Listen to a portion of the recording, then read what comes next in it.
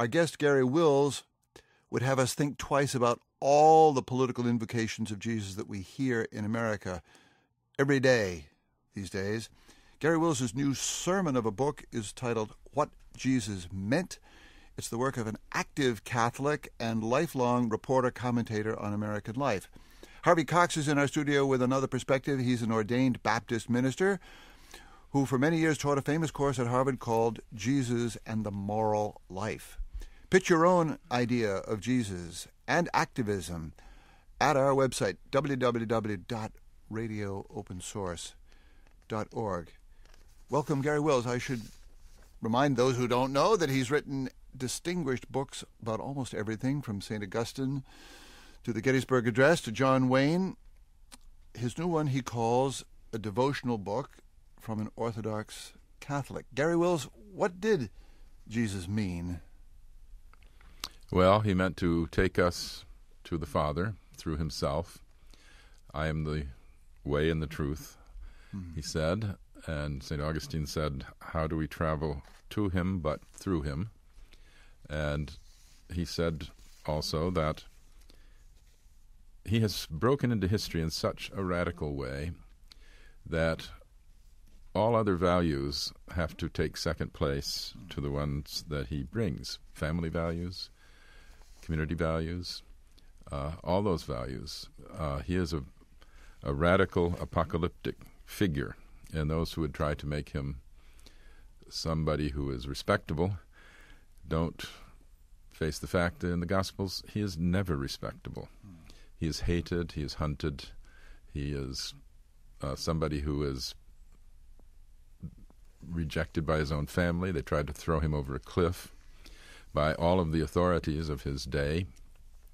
He had among his original followers no priests, no Sadducees, no Pharisees, no scribes. Uh, he didn't try to accommodate the authorities of his time. In fact, he defied them. He defied the temple, sacrifice, Sabbath, the holiness code. Uh, over and over, he was called uh, a heretic, uh, a consorter with the unclean, mm. with with the down and out, the downtrodden. Uh, he's not at all a figure that you can invoke for uh, respectable political purposes. That's who he was. What, what did he mean for us? Well, he meant that we have to look beyond this world to uh, the coming world of the Father. And the way to do that is to be incorporated into Him. We know the Father through Him. He's brought the Father to us. He says the reign of heaven is now here in Him. Uh, and it is with you. It is still coming, of course, but the seeds are there. And most of the parables are of things that are happening now which have uh, an ultimate destination beyond themselves. As St. Paul says, we, we are the seed and we will become the plant, the flower, at the end time. You, you remind us in this book, which I must say I enjoyed hugely, uh, that Jesus was not a Christian. He was born, lived, and died a Jew. Uh, would he be a Catholic today as you are, Garry Wills, do you believe? no. He would not belong to any church. He said, Where two or three are gathered in my name, I'm there. Amen. And I think he is there with all those who are gathered in his name, my own Catholic brothers and sisters, and those of any other Christian faith. And his Father is there in other ways with people who are not immediately uh, incorporated into Jesus. But no, there was nothing churchly about him. And of course, the very term Christian didn't exist even in Paul's time. It was a derisory term. It was used only by people who mm. were not part of the Jewish Christian, what we call Christian faith. Paul called right. Paul called uh, his brothers and sisters brothers and sisters. The word for what we call Christian was Christians was brothers or the holy. Uh, and it's often forgotten that when Paul talks about Jewish, about Jews, he's often talking about Jewish brothers. There were great fights between the uh, Gentile Jews and the uh, Gentile brothers and the Jewish brothers, and uh, he was trying to say that the Jewish brothers, especially in Rome, who were trying to exclude the non-Jewish brothers, were wrong, and so much of his criticism is not directed at what we call Jews. Uh, he didn't distinguish what we call Jews from Jewish brothers. So he is trying to say that the the brothers and sisters have to follow Jesus's uh, way of life, which is a very exigent way, uh, a hard way. But the main thing that he says is, when it comes time to enter into the reign of heaven, you'll be judged on only one thing. You'll be looked at, and it will say, "I was hungry, and you fed me. I was thirsty, and you gave me drink. I was in prison, and you visited me. I was sick, and you've healed me." And uh, people will say, "Well, when did we do that? We didn't even know you were around. We didn't see you." He said, "Whatever you did to the least of my brothers, you did to me." Then he turns to others and said, "I was hungry, and you didn't feed me. I was thirsty, and you didn't give me to drink. So you do not enter into the reign of heaven." That is a a demand that is the only thing that he says gets you into the reign of heaven. He doesn't say, What creed did you have? What church did you belong to? How often did you pray? Uh, none of those things. It's did you treat the least as if they were me? So, Garry Wills, how do we square that with the history of Christian power and Christian politics, even Christian anti politics, from Constantine to the late lamented uh, William Sloane Coffin? Well, we don't. Uh, well, with we don't square Coffin, it, we may. Yeah, no, not with certainly not with Christian power. Uh, you know, the the American God, uh, who is often invoked now, was which which one? the, he's the one who has blessed every American war. Every American war has been blessed by the American God. Are you talking uh, about Billy shows, Graham or, or, or everyone from the Revolution on? You know, in the in the Revolution, we were told that uh, the British were Pharaoh, or they were the beast from Revelation, and we had to fight as warriors for God. Well, remember, Jesus said to Pontius Pilate, He said, Are you a king? He said, No, my reign is not of this earth. If my reign were, of, the, were of this earth, my followers would be fighting for me. But they're not. Well, ever since people who claim to be his followers have been fighting for him. They are clearly not his followers. The American God has blessed all these wars, and therefore cannot the American God cannot be hmm. Jesus of the Gospels. But then, how do you know? I I, I want to get you uh, out of the the pietistic or quietistic range. How do how do how do we account for uh, two thousand years of of Christian activism of of all kinds? Well, we do it by looking at the Gospels and finding that Jesus was misunderstood by his own followers. Uh, there was very little of what we would call Christian church values among the the disciples. You know, they wanted the kingdom to be now. They wanted to advance themselves in the kingdom. And he kept saying, "No, no, no, that's not that. It's not that." Uh, so we should not be surprised that that misunderstanding continues. His family misunderstood him. His people misunderstood him. His followers misunderstood him, uh, and he he constantly rebuked them. Don't try to be. He said to them, don't be called Father. You have one Father in heaven. Don't be called Teacher. You have one Teacher, the Messiah. Don't aspire to seats of authority. And of course, they kept trying to, and they uh, were unhappy with him and denied him. Uh, and that's been the story ever since. We're talking about what Jesus meant in the title of Garry Wills' new book. Professor Harvey Cox joins us in the studio in Boston. He's a professor of religion at Harvard. What did Jesus mean, Harvey Cox? You know, I, I wish that Garry had written a book called What Jesus Means rather than What He Meant, because uh, it's awfully hard to know, unless you can see inside someone's head, what they meant by what they said. I thought this was a wonderful book. I and I appreciated so much of it. I do have a couple differences of opinion. I do think that Jesus was in many ways a political figure, although a political figure in such a different way, in such a radically different understanding of what politics is, that it it uh, would jar and overturn our view of it. Uh, he he, after all, did talk about the kingdom of God. Asked us to pray that it come on earth. It wasn't something we go to. It was something that was to come on earth. We're supposed to pray for it, and we're and I don't think I quite agree, uh, Garry, with you when you say we're supposed to look away from this world. A lot of Jesus' parables were look around you, see what's going on, look in this world, see what's happening. The kingdom of God is springing, it's dawning, and you're supposed to nurture it and, and join in with it. Uh, after all, politics has to do with the right ordering of the polis, of the political realm. Uh, the reign of God is about that. It's not just about individualism. Harvey Cox, I'm remembering that you went to jail with William Sloane Coffin, and uh, you were both men of the cloth who surely must have thought you were uh, serving God and following Jesus' example or something in that kind of work. What was the connection? Well, we sure did. We and we were following him for the kind of uh, values that we thought he stood for and proclaimed, in the way that he wanted us to do it, which was through nonviolent love, not through violence, and not uh, and not through conventional politics.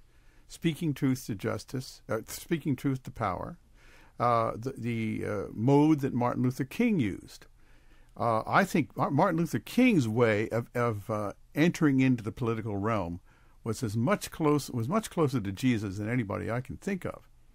Interesting, Garry Wills. You you express well, a, well, go ahead. You uh, but yeah. may I just say uh, sure. I don't mean to lead the witness, but you you've written powerful admiration of Jimmy Carter's understanding of these things, church and state, religion, of, of politics and morality and the different demands in different realms of justice and love. Explain Jimmy Carter as an example of what you're talking about. Well, I would rather start with Dr. King. Go, um, go for it.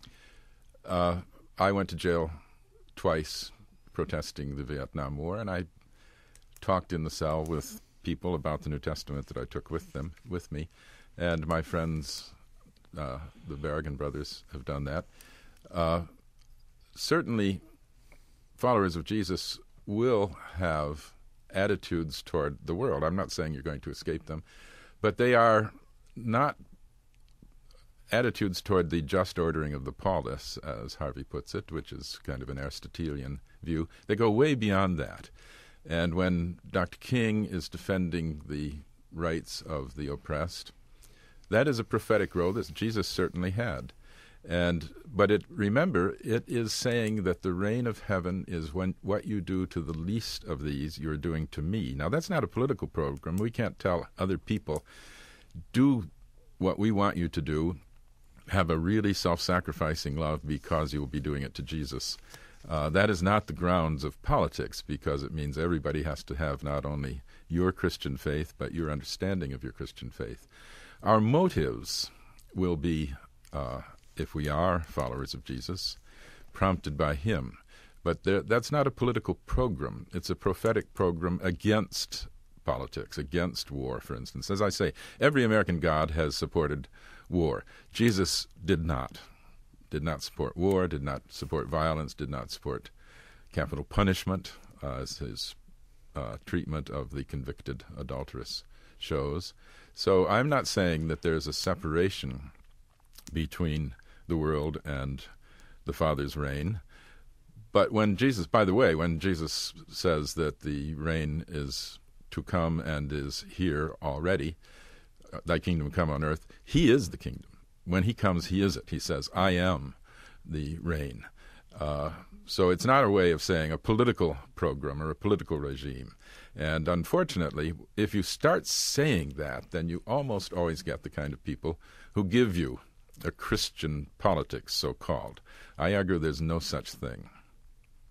You know, you, you have a very active following on the on the blogosphere, Garry Wills. Frank Wilson on his page, Books Inq, writes If you take what Garry Wills says to its logical conclusion, then the abolitionists were wrong, and so was Martin Luther King Jr., because their socio political positions were grounded in their Christian faith. After all, says Frank Wilson, faith without works is dead, quoting St. James. And he says, St. James knew Jesus better than you do. Uh, what, what about this urgency to connect what people are doing with a mandate from Jesus? Well, I think that that's a Christian duty, Christian using uh, kind of anachronistic term. Of course, if you are a believer, your conduct has to reflect that.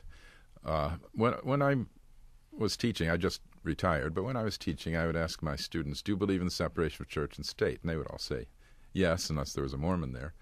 And do you believe in the separation of religion and politics? And most would say yes. And I would say, do you believe in the separation of morality and politics? And no one would say yes. Hmm. I said, well, obviously there's some kind of problem because many, if not all of us, have uh, had in some way our view of morality framed by views on religion. So our motives are going to be uh, religious.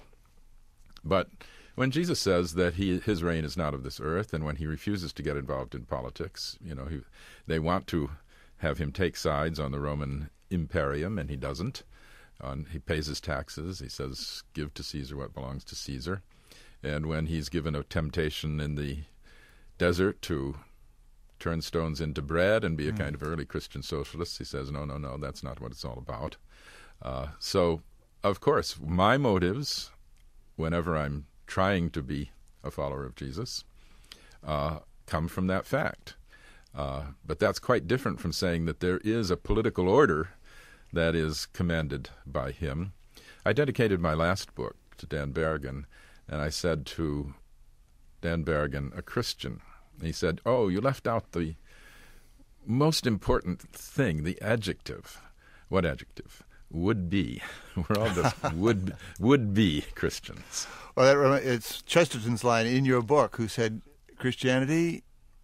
What, what, what is the line? He said it would. What a great idea! It hasn't been tried and failed. Tried. It was yeah. never been tried. well, right. that's certainly true. Well, wait, Garry. Uh, Harvey Cox. I, yeah, I, I think that uh, I agree with so much what, of what you've said and, and the misuse of Jesus and Jesus' name and God's name in politics. But look, to be against war is a political point of view. To be against capital punishment is a political point of view. It is and is inspired in you and in me, certainly by our being followers of Jesus.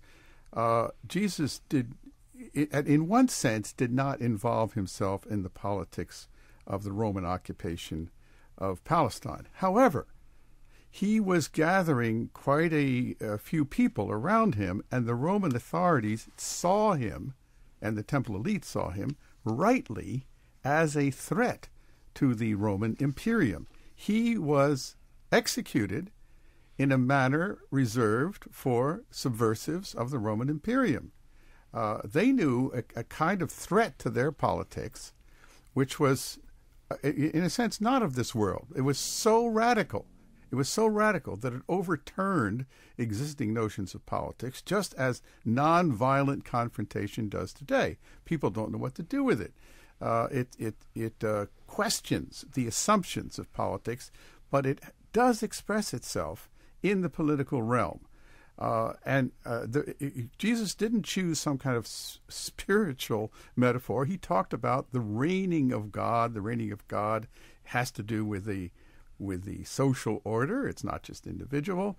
If he had stayed away from all of that completely, I think he would have re- lived to a ripe old age and died in Galilee, not being seen as a threat.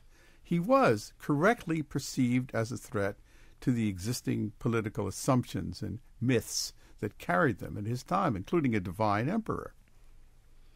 Well, of course, he used the language of the reign of heaven because he was fulfilling the messianic promise of his people. That was the language he was given. But what he said almost immediately when that came up was, "You've misunderstood. It's not an earthly realm." Well, why do you I say am not? Pray, pray, pray you, Wait a minute! I heard. I, I listened earth. to you. My, my I, I heard you on, out. my uh, kingdom come on earth as it is in heaven. Yes, my reign is already here. I'm here. And I am telling you that my reign is not of this order.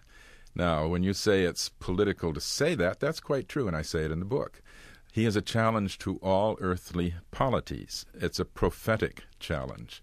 And it's not entering into competition on the same level with other politics. It's trans politics, it's outside politics.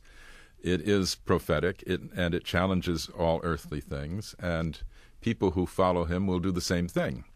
And that's what Dr. King was doing, and the Berrigans were doing, and you were doing, and I've been trying to do.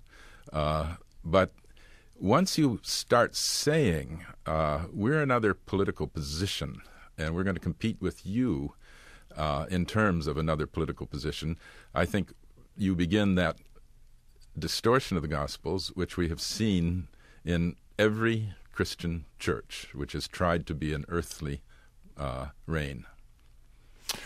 What about? I mean, let's deal with the the the the, the harder ones. The uh, the the implication of a, a, Christian program, even in the Bush administration's uh, foreign adventures, that we are somehow uh, confronting another kingdom or and and doing it in the name of some kind, some version of Christian liberation. How did we get to that, and what? How do we confront that? How would how would well, Jesus we deal say, with that? We say it's idolatry. Hmm. That we are making the Christian nation God's nation.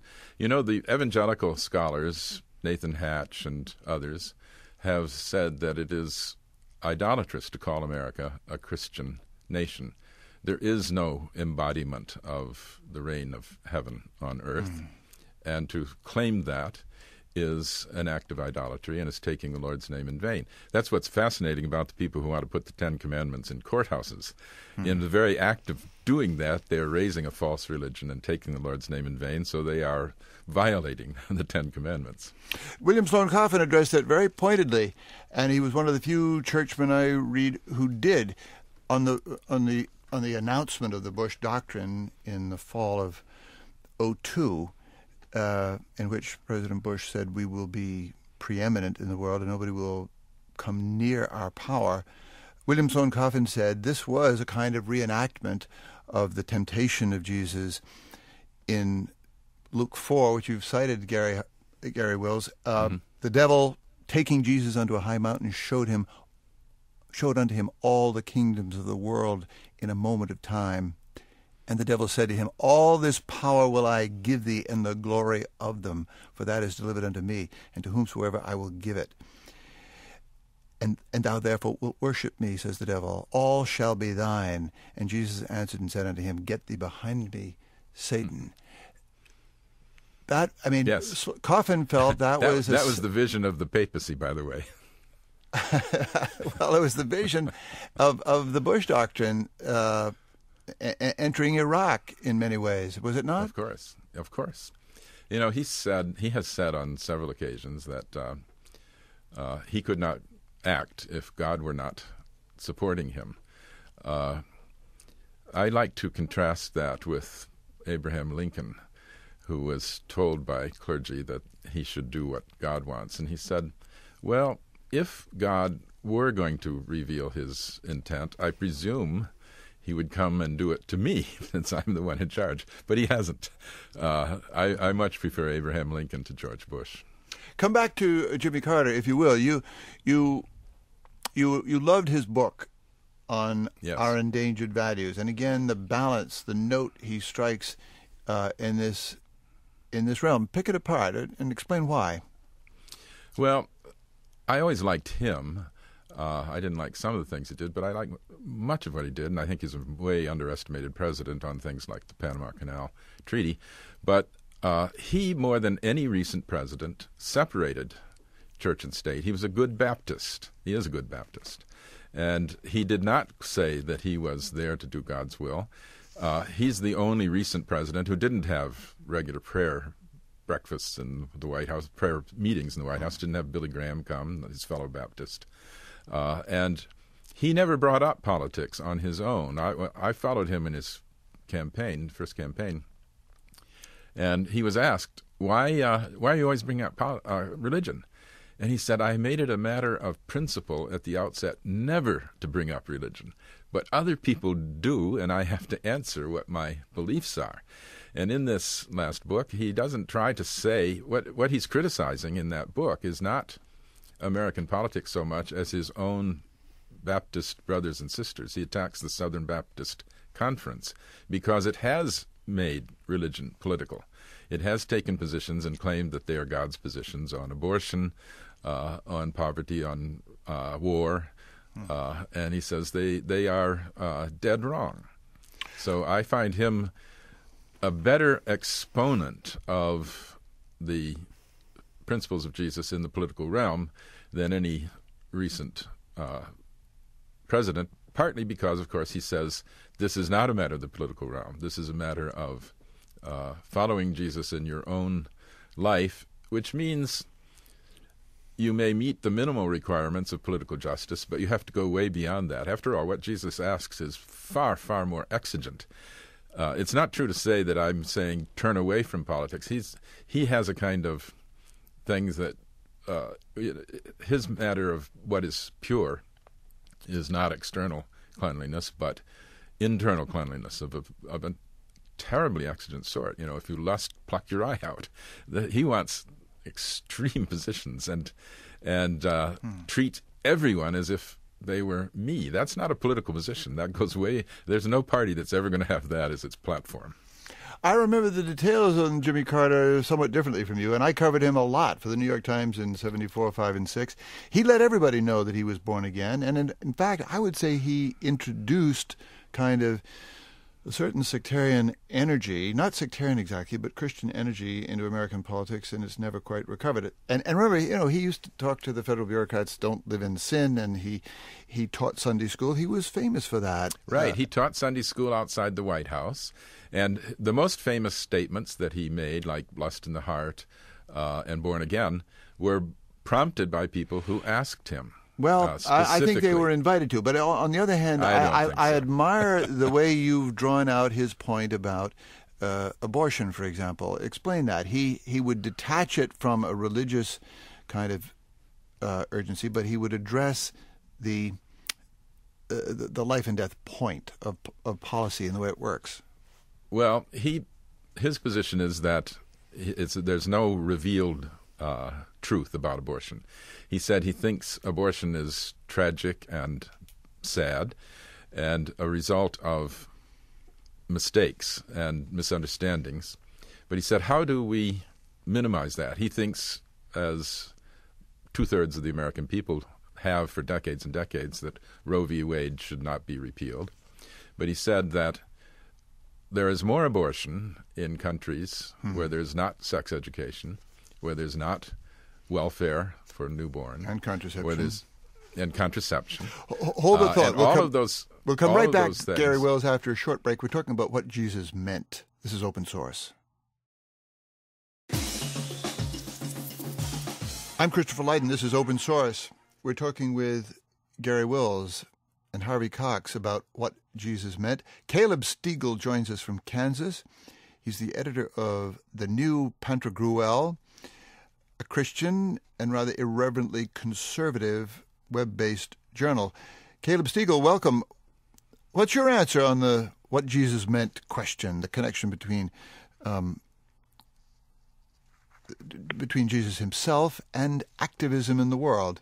Well, uh, thanks, Chris, for having me on. It's uh, it's a pleasure to be in august company. I, I'm afraid I, I'm not going to be able to demonstrate my protest credibility with jailhouse stories, but um, I'll do my best. You're young yet. You're Sort of offer my lone voice of dissent here.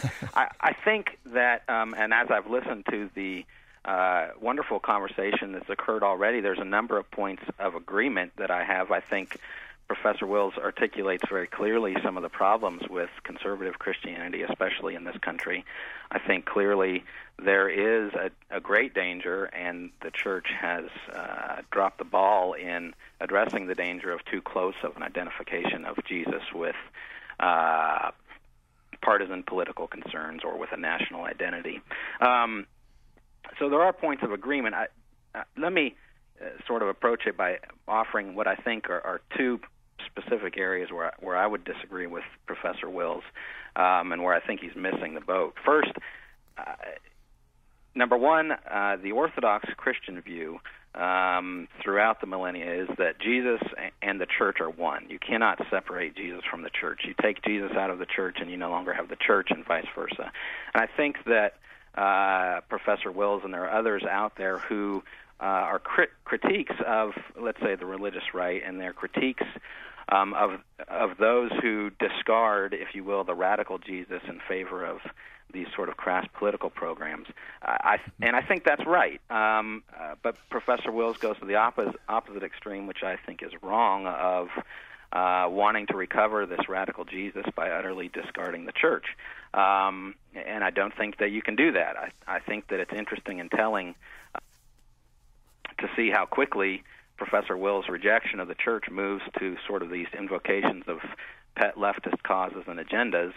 And I think notion that uh, the church has essentially misunderstood Jesus for 2,000 years until uh, Professor Wills comes along to give us the secret meaning of Jesus is really rhetoric that uh, is in, indicative of kind of a Gnostic mind, which is ironic coming from an Augustinian, uh, and it demonstrates what's really going on. Remind here. us what a, what a Gnostic mind well, it, looks this like. idea that that um, you know there's a secret uh, level of knowledge that has to be a- obtained before uh, we can really implement the truth of uh, of any one thing, and and that's that's boiled down what uh, a large part of Professor Wills's message is, and I think it demonstrates that what's really going on here is. Uh, in fact, taking of this religion as politics game to a whole new level, which which I find a little ironic. And just the second point I'd make, really quickly, is I agree again with Professor Wills when he says things like we can't do what Jesus would do because we're not divine. I think, along with Professor Wills, that the question, what would Jesus do, is incredibly short sighted and, and, ignorant of Christian doctrine. Um, I would just say that uh, while that is true, an Augustinian ought to recognize that it's, that statement's a two way street, and it's also true that we in the now but not yet must do things that Jesus would not do. So we are engaged in the tragic necessities of life. Augustine recognized that, and he recognized that in fact, uh, you know, human beings who are uh, constrained by their uh, sinful nature and by their mortality of setting up systems which will rule and provide a decent justice uh, will have to at times engage in things that, uh, in the purest sense, Jesus would not have do, would not be countenanced, for example, by the Sermon on the Mount. Um, I think it's Garry Will's turn to to, sorry, to, to hit go, the go hit the ball back. Well, on the second point, of course, we are probably going to have to do things that Jesus didn't do because that, and that's what I say. Setting that as a test, what would Jesus do is a wrong test. Uh, on the first point, that Jesus is identified with the church. Boy, is that ever the source of idolatry? That to say that the church is Jesus. Um, that means the Inquisition was Jesus, monarchical papacy, decade, uh, century after century was Jesus, uh, crusades were Jesus, uh, pogroms were Jesus. Jesus is not the church. Uh, even Orthodox Catholics said in the Second Vatican, Vatican Council that uh, the church is the people of God. Now, church in the New Testament is a non-term. What what it says is ecclesia, gatherings, and Paul's gatherings were that, just gatherings. And he addressed the brothers of the gatherings. He didn't address any leader in those gatherings. He never does that. He never calls himself a priest or anybody else around him a priest, any of his helpers, any of the people in the gatherings that he addresses. Now, the gatherings are uh, the mystical members of the body of Jesus. They are uh, the people who pulled together and tried to decide how they could follow, and they did decide things like the canon of Scripture. They did decide on the creed. They did decide on the councils. Uh, so there is um, the mystical members of Jesus, but the church, uh, which is often the church state, is uh, idolatrous. And Jesus himself uh, never set up any kind of church. Uh, he said to Peter, uh, I'll build up my gatherings on you. And he said to the whole disciples, uh, and not only to Peter, uh, what you bind will have been bound in heaven, what you loose will have been bound in heaven. And that He'll send the champion, the uh, paraclete, who will stand with you and inspire you. But churchiness is the enemy of uh, Jesus. And to the mere translation of ecclesia as church has set people off on a wrong track down through the ages. You, have um, you're an Orthodox Catholic, Garry, but you have not submitted this book for uh, the the nihil obstat or imprimatur of, of the church. Then yeah, nobody does that wonder, anymore. It's a wonderful book, Garry. I want to really congratulate Har- Harvey you. Cox. It's a wonderful book. Don't go away, Caleb. Because of what you're warning against, which is baptizing particular political programs in the name of Jesus or in the name of God, I couldn't agree more. I agree completely that identifying Jesus with the church is an awful mistake. Uh, you said a little while back you didn't want the book to discourage people from getting into politics, Christian people, from getting into politics based on their understanding of their faith. Now, see, my worry about your book is I'm afraid some people are going to read it that way. Some people are going to read it that way. And there are just enough people around who want to say, look, uh, you can't really do anything. What can you do about the war? What can you do about racism? What can you do about poverty? In our world, you have to get into the political realm to confront those things. Don't baptize your particular program or answer, for heaven's sake, but uh, don't be ashamed that your motivation comes from your understanding of Jesus and his values and that you're a follower of Jesus. It's interesting. An Ethiopian Christian cab driver said that to me yesterday about the war in Iraq. Jesus, you know, he, he said, uh, would not have been interested. There are wars and rumors of wars, you know, let it go. Hmm. Uh, I mean, I think that is a that is a, a, way to read this book, Garry, and I don't think it's uh, what you mean. Definitely not. After all, jump- if you are following if you are following Jesus, he says turn the other cheek. That you have to have an attitude toward war, toward violence, toward capital punishment, toward all those things. Yeah, and I would and just jump in. That you will go way beyond the political questions, and a fortiori, you will, on the political level, be acting in a moral way. Caleb, go for I, it. I, I just had to. I, I see. I understand where Professor Wills is coming. I see very little difference, however, between his own baptizing of particular uh, uh, particular agenda with those he criticizes who do exactly turn the other the cheek is not my particular agenda; it's Jesus's. uh, well, and, and, let me let me respond, if I could, to the question of uh, identity with the church. I think uh, what was being described is not exactly what I had in mind. I, I certainly uh, agree that the historical process of figuring out what the church is and, and what it stands for and, and, and, and how it speaks is a very messy and historically contingent process. However, um, uh, I think that it is, and Professor Wills laid out the doctrine very clearly. Jesus himself established that he and the church would be one. Um, that is not to say that they are identical or that every uh, worldly incarnation that calls itself the church gets to be one with Jesus. However, I think that what we're doing, or the danger here, is to fall into the trap of saying that because Jesus uh, sort of explodes every human pigeonhole that we might put him in, and, and, I, and he does do that. But the danger is to then therefore say that we can't know anything about him and deny that the historical church has any authoritative ability to say anything meaningful about Jesus. And I think when you do this, you make Jesus essentially the puppet of your own desire.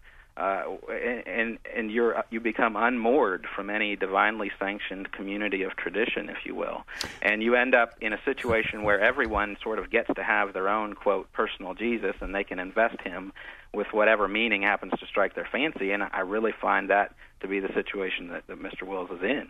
Caleb, don't go away. Garry Wills, hold your fire. Our blogger in chief, Brendan Greeley, is is reading the the blog wins. Brendan, what do you see? Peggy Sue logged on earlier this afternoon. Uh, in a previous show that we did on hip hop, she heard mention of the song Jesus Walks by Kanye West. She doesn't normally listen to hip hop. Uh, but she got the song, she listened to it, and she writes it was it's the most moving testimony to the living Christ I've ever heard. So, uh, inspired by that, she built a Jesus playlist and shared it with us. Uh, appropriately enough to what Caleb was just talking about, the first song on her list is Johnny Cash's "Personal Jesus." Uh, there's also a song from Rosanne Cash. There's Elvis Presley's Amazing Grace, and from Willie Nelson, Shall We Gather at the River. Right after that, Jitney Sound logged on and asked how you could possibly make a Jesus themed playlist and leave off Mahalia Jackson. Mm. But we've got a question, uh, a very simple one, and we can throw it at all three guests from Avec Fritz. It reads as follows Is there any aspect of Jesus that every Christian can agree with? I think I can answer that. Go for it, Caleb. I think that, uh, and I think Professor Wills would, would agree with me that Jesus was, uh, in a in a way that we don't understand fully with our reason, he was the divine Son of God. I have a very simple answer: the creed. And I would Uh, agree with that. That's as what well. a Christian a Christian believes in the creed. Uh, that's you know as simple as it gets. I, it's I have a different view of that since I was not raised in a creedal church, being a Baptist. Follow me. Follow me. That's what he said. How about feed my lambs? Feed my lambs. Follow me. That's Yeah. uh, uh, there. There, there are millions of Christians in this country who are not do not belong to creedal churches, but believe that following Jesus is the thing that we all should be agreeing on and trying to do. Nonetheless, our understanding our however? understanding of Jesus was established by the tradition which chose the canon of the Gospels. Uh, that is an act of the community, and uh, so in that sense, of course, I do believe in the Christian community and the gatherings. Uh, we the only reason we have the Gospels is that the early Christians got together and decided this is what we believe. Uh, so there is a, uh, an implicit traditional creed in that very act. What do we mean, Harvey Cox, by following him? That, that's a lifelong quest, Chris. That's something you have to keep asking yourself in every situation.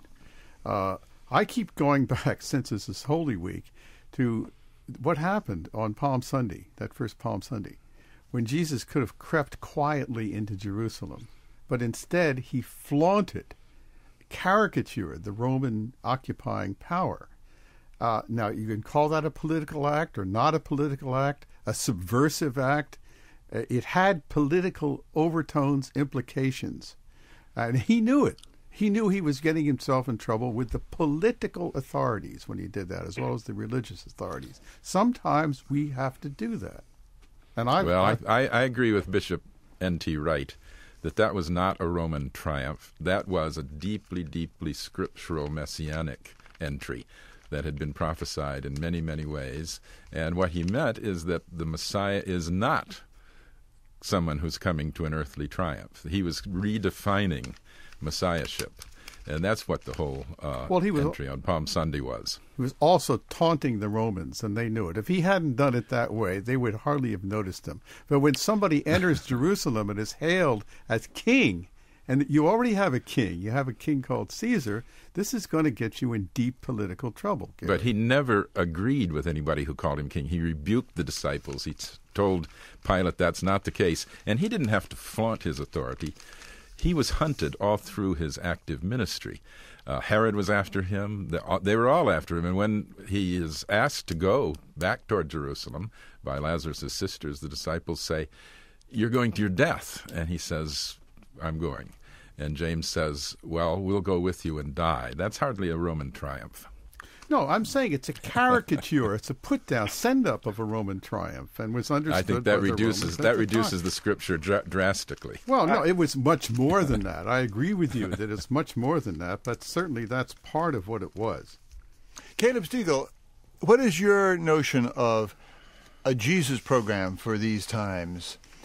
Well, I, I'm not sure I know what you mean by a Jesus program. Well, I, I wanted to not to say a Christian program, but you know, You mean a political agenda? a social what you mean by agenda, a justice agenda, uh, a human agenda, Well, Uh, I, I think that a um, kingdom agenda, whatever. I'm going to agree again with uh, with what Professor has said that there is a real danger with coming out with a uh, political platform and baptizing it as the Christian agenda. I think that uh, natural law and natural reason does play a very large role in our uh, common order, the ordering of our common life together. And I do think that there has to be a way to arrive at a political language which everyone can, at least uh, in principle, partake of. Um, certainly, from a Christian point of view, uh, the way that one engages in that discussion in that political realm will be uh, guided by 2,000 years of Christian history, by the person of Jesus, uh, and by the community of belief. Um, you know, beyond in that, I can prayer, certainly discuss instance? specific issues. However, I, you know, I, I think that at that point you begin to wander from the religious into the expressly political. Garry Wills, you get the last minute. Well, I suppose some people would say public prayer is a clear Jesus mandate. The trouble with that is that uh, the Gospel of Matthew says, when you pray, do not do it in public like the hypocrites. Go into your inmost chamber and lock the door and pray in hiding to your Father. This is one of many, many passages where he says that religion is an entirely internal matter. It's not a matter of external things. He says, What is unclean is not what you take into your mouth, but what comes out of your mouth. It, it's a deeply, deeply anti institutional uh, gospel. And uh, we get on the wrong track the minute we stop looking at that fact. Garry Wills, thank you for a wonderful book and a wonderful hour. The book is called What Jesus Meant